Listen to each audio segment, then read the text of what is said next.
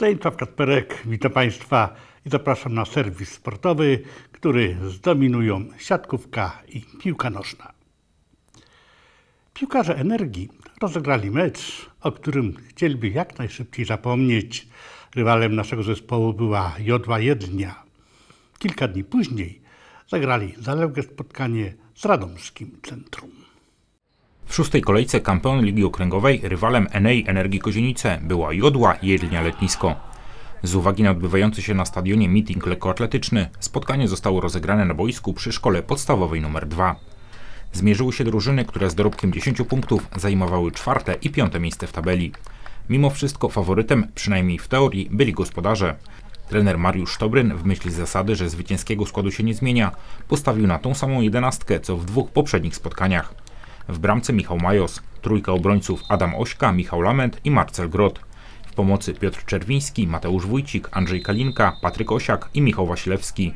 Z przodu Bartłomiej Książek i Roman Skowroński. Zgodnie z przewidywaniami pierwsi bramce rywali zagrozili gospodarze.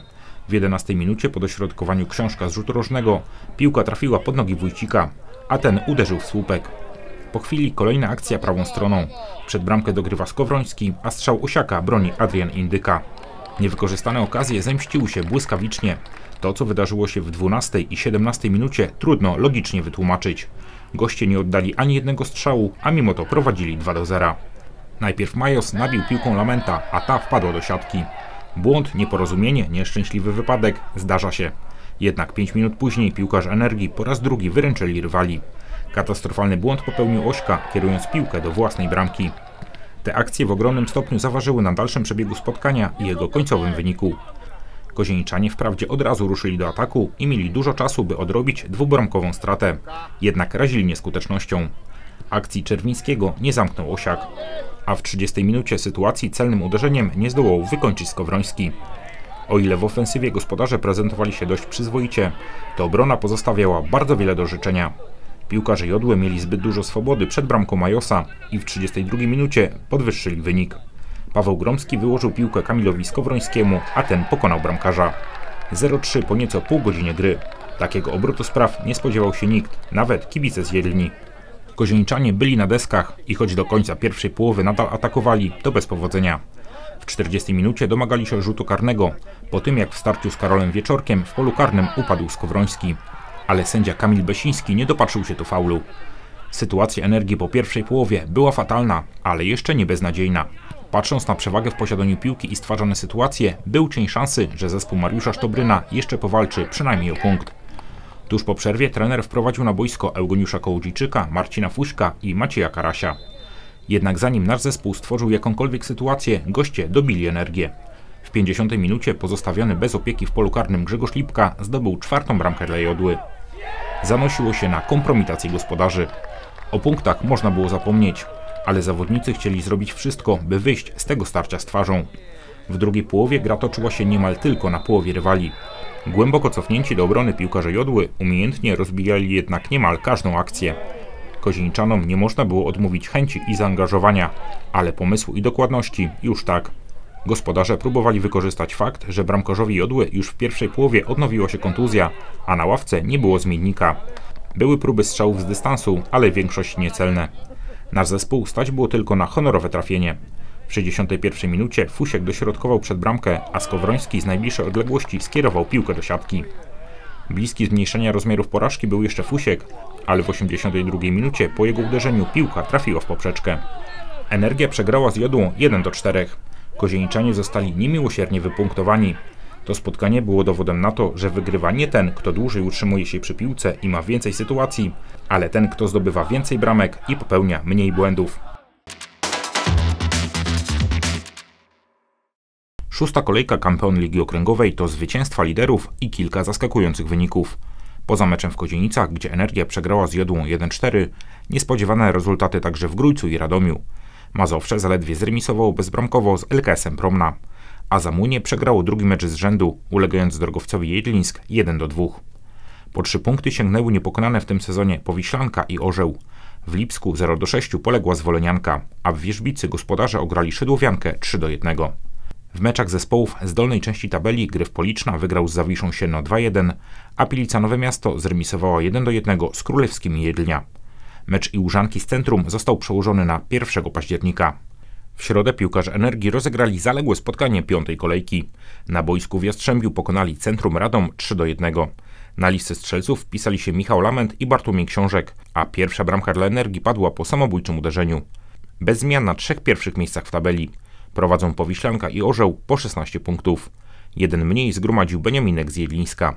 Energia pozostała na piątym miejscu. Kozieniczanie mają w dorobku 13 punktów. Niewielkie zmiany w drugiej części tabeli. O 3 punkty wzbogacił się tylko Gryf, który umocnił się na ósmym miejscu. Stawkę zamykają dwa zespoły bez wygranej – Iłżanka i Zwolenianka.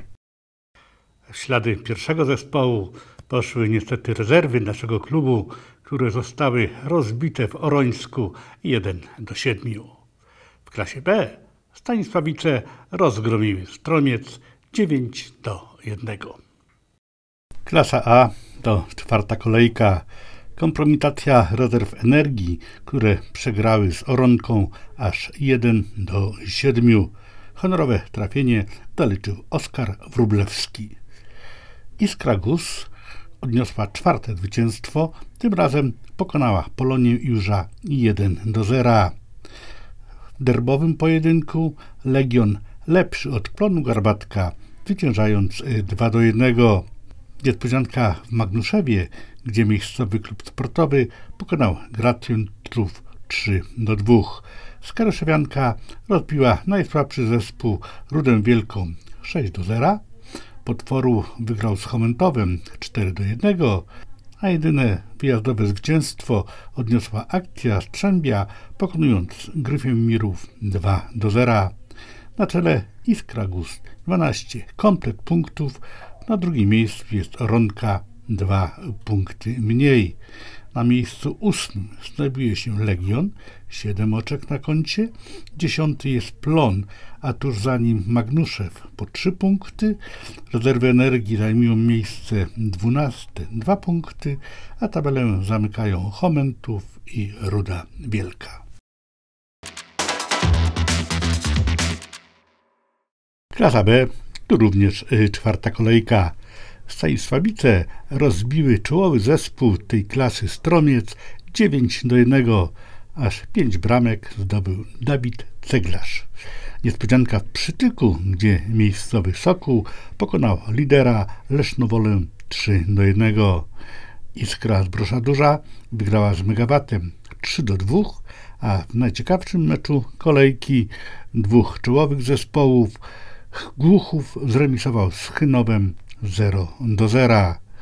Strażak Wielogóra, najsłabszy zespół, przegrał wysoko z Jaguarem Wolanów 1 do 9, a Belsk Duży w spotkaniu wyjazdowym pokonał Wysokin 2 do 1.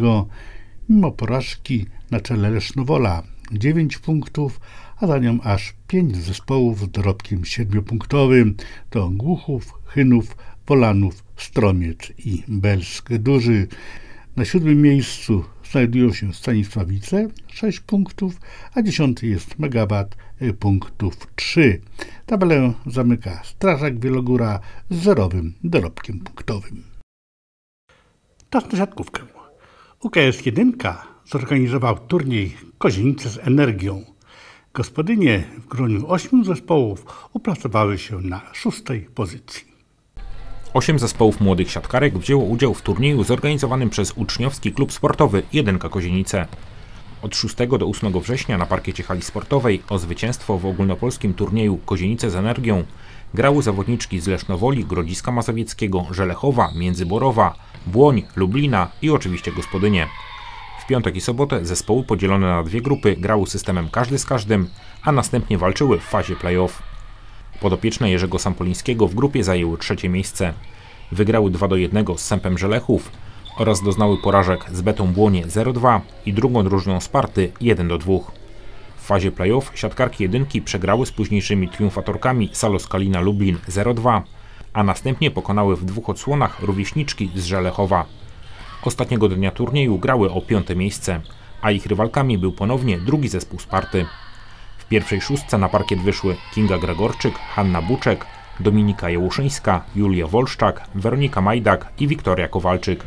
A w rezerwie pozostały Anna Krakowiak i Izabela Szewczyk. Niestety ostatni mecz turnieju był w wykonaniu naszych młodziczek ich najsłabszym występem. Siatkarki jedynki miały ogromne problemy z odbiorem zagrywki. Wprawdzie w pierwszej partii od stanu 0-7 wygrały 8 piłek z rzędu, to później nie udało im się już nawiązać wyrównanej walki i przegrały do 13. Również drugi set od początku układał się po myśli Sparty. Grodziszczanki prowadziły kilkoma punktami i choć same popełniały więcej błędów niż w poprzedniej odsłonie, piętą achillesową gospodyń nadal było przyjęcie i gra w obronie. W drugiej części seta przewaga Sparty urosła do 7 punktów, a nasz zespół ponownie pogrążyła zagrywką Ola Chmielewska. Drugi set zakończył się wynikiem 25 do 17. W spotkaniu o trzecie miejsce zmierzyły się Wrzos Międzyborów i Beta Błonie. Po wyrównanym początku pierwszego seta siatkarki Bety popisały się serią aż 10 punktów, w czym ogromny udział miała zagrywająca Zofia Piotrowska. Ten fragment przesądził o zwycięstwie Bety 25 do 13. Zupełnie inaczej układał się drugi set. Siatkarki Wrzosu poprawiły przyjęcie, wygrywały walkę na siatce i konsekwentnie zmierzały do tej breka. Ich przewaga sięgnęła na koniec aż 13 punktów. Trzeciej decydującej odsłonie zespół z Międzyborowa poszedł za ciosem i cały czas kontrolując sytuację na parkiecie wygrał 15-8. Finał turnieju to rywalizacja drużyn z Lublina i Lesznowoli. Zdecydowanie lepiej w mecz weszły podopieczne Czesława Gębali. Siatkarki Salos Kalina Lublin górowały nad rywalkami w każdym elemencie siatkarskiego abecadła. Pierwszą partię wygrywając do 12. W drugiej i ostatniej odsłonie młodziczki z Lesznowoli stawiły już większy opór. Gra była bardziej wyrównana, ale cały czas prowadził zespół z Lublina. W drugiej części Lublinianki przyspieszyły, odjechały na 18-13 i do końca nie pozwoliły już odebrać sobie triumfu w secie, meczu i całym turnieju, wygrywając do 18. Trzydniową rywalizację zakończyła ceremonia dekoracji, którą poprowadził Jerzy Sampoliński. Puchary, medale i dyplomy wręczali młodym siatkarkom zastępca burmistrza gminy Kozienice Mirosław Pułkowski, wiceprezes SKOK Kozienice Grzegorz Przybysz oraz sekretarz jedynki Agnieszka Śmietanka. Puchar Fundacji Zdrowe Dziecko za trzecie miejsce trafił w ręce kapitan Wrzosu Międzyborów. Puchar burmistrza odebrały siatkarki UKS-u Lesznowola, a Puchar Fundacji Enea za pierwsze miejsce wywalczył zespół z Lublina. Wyróżniono również najlepsze zawodniczki na każdej pozycji. Najlepszą rozgrywającą była Ewa Jachyn z Lesznowoli, atakującą Lena Kwietniewska z Międzyborowa, a przyjmującą Zofia Piotrowska z Bety Błonie. Tytuł dla najbardziej wartościowej zawodniczki trafił do Amelii Maciążek z Lublina. Trenerzy i sędziowie wybrali również najlepsze zawodniczki w każdym zespole. U gospodyń statuetka trafiła w ręce Julii Wolszczak. Organizatorem turnieju Kozienice z Energią był UKS 1, a nagrody ufundowały Fundacja Enea, Gmina Kozienice i Skok Kozienice. Pozostajemy przy tej dyscyplinie sportu. Zespół KKS-u w ramach przygotowań do sezonu ligowego zagrał w turnieju o Puchar Prezesa UMKS Wola Warszawa. Zawody odbyły się w dniach od 7 do 8 września. Przygotowujący się do nowego sezonu siatkarze Enei KKS Kozienice rozegrali pierwsze spotkania kontrolne. 7 i 8 września zespół Marka Grzelczaka wziął udział w turnieju zorganizowanym przez MOZ Wola Warszawa. Rywalami naszych siatkarzy byli inni drugoligowcy. Oprócz gospodarzy KKS grał z AZS-em Olsztyn i Spartą Grodzisk Mazowiecki. Wszystkie spotkania turnieju zakończyły się tym samym wynikiem 3 do 1. Kozieniczanie pokonali Spartę, a w dwóch pozostałych meczach musieli uznać wyższość rywali. W klasyfikacji końcowej zajęli trzecie miejsce. Wygrali gospodarze, a drugie miejsce wywalczył Beniaminek z Grodziska Mazowieckiego. Teraz naszych zawodników czeka chwila przerwy, a już 21 września w Kozienicach zostanie rozegrany trzeci memoriał Tomasza Sadury. Blisko 200 niepełnosprawnych lekkoatletów z całego kraju przybyło do naszego miasta, by wziąć udział w piątym ogólnopolskim mitingu lekkoatletycznym. Radomskie Stowarzyszenie Sportu i Rehabilitacji Osób Niepełnosprawnych Start tradycyjnie na początku września zorganizowało w Kozienicach ogólnopolski meeting lekkoatletyczny dla osób o różnym stopniu schorzeń. Była to już piąta edycja tej imprezy. Jej celem jest propagowanie sportu wśród młodzieży niepełnosprawnej, promocja wartości edukacyjnych i wychowawczych sportu oraz utrwalanie i rozwijanie zdolności motorycznych dzieci i młodzieży, a przede wszystkim integracja środowiska osób niepełnosprawnych. Większość ekip w Kozienicach zjawiło się już w piątek 6 września, a zawody rozpoczęły się w sobotę i trwały dwa dni. Zawodniczki i zawodników powitał prezes radomskiego startu Arkadiusz Borczuch, życząc udanych startów. A magiczną formułkę otwierającą zawody wypowiedział dyrektor Kaceris Marcin Zmitrowicz. Piąte ogólnopolski meeting w lekkiej atletyce osób niepełnosprawnych Kozienice uważam za otwarte. Tym razem do naszego miasta przybyła rekordowa liczba uczestników. Z Warszawy, Kielc, Siedlec, Krakowa, Białegostoku, Nowego Sącza czy Gorzowa Wielkopolskiego. Najliczniejszą grupę stanowili tradycyjnie przedstawiciele organizatora radomskiego startu. Na starcie stanęli również kozieniczanie, przedstawiciele warsztatów terapii zajęciowej z przewozu. O tegorocznej imprezie mówi Arkadiusz Borczuch. W meetingu lekkoatletycznym osób niepełnosprawnych e, w tym roku bierze udział 180 zawodników z terenu e, całego kraju. Oczywiście biorą udział także reprezentanci e, kadry Polski osób niepełnosprawnych na czele z zawodnikami naszego stowarzyszenia. Prezes wspomniał też o najważniejszym tegorocznym starcie. Nasi zawodnicy naszego stowarzyszenia, jak i cała kadra Polski osób niepełnosprawnych w chwili obecnej przygotowuje się na obozach e, sportowych organizowanych, e, przygotowują się do e, docelowej imprezy, to jest Mistrzostw Świata, które odbędą się w tym roku. Tymczasem na stadionie trwała walka w konkurencjach biegowych i technicznych. Startowano na 100, 200, 400 i 800 metrów. W skoku w dal, pchnięciu kulą, pchnięciu kulą na wózkach oraz rzutach oszczepem, piłeczką palantową, maczugą na wózkach i piłką lekarską. Oczywiście poziom konkurencji był bardzo zróżnicowany. Zdarzały się przypadki, że na przykład w biegu na 100 metrów zawodniczki schodziły z bieżni, by po chwili na nią powrócić. Wszyscy startujący wykazali wielką wolę walki i hard ducha. W kozińskich zawodach wzięły także udział gwiazdy polskiej paralekkoatletyki. Alicja Jeromin, bardziej znana pod panieńskim nazwiskiem Fiodorow, czy Jagoda Kibil, których trenerem jest Jacek Szczygieł. Tym razem w Kozienicach nie padły rekordowe rezultaty, ale przecież nie o to chodziło. Koszty związane z organizacją meetingu oraz koszty wyżywienia i zakwaterowania pokrywał organizator. Zadanie było dofinansowane z Państwowego Funduszu Rehabilitacji Osób Niepełnosprawnych. Z mojej strony to wszystko na dziś. Dziękuję za uwagę i do zobaczenia.